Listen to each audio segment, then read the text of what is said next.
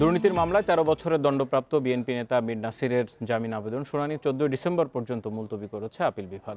দুর্নীতির মামলায় দণ্ডিত বিএনপির এই নেতা গত আট নভেম্বর ঢাকার দুই নম্বর বিশেষ জজ আদালতে আত্মসমর্পণ করলে আদালত তাকে কারাগারে পাঠানোর আদেশ দেন। তারপর থেকেই তিনি কারাগারে। এই মামলায় দণ্ডিত মীর নাসিরের ছেলে মীর হেলাল উদ্দিন গত সাতাশ অক্টোবর আদালতে আত্মসমর্পণ করেন। তাকেও কারাগারে পাঠানো হয়েছিল। পরে জামিনে মুক্ত হন মীর হেলাল।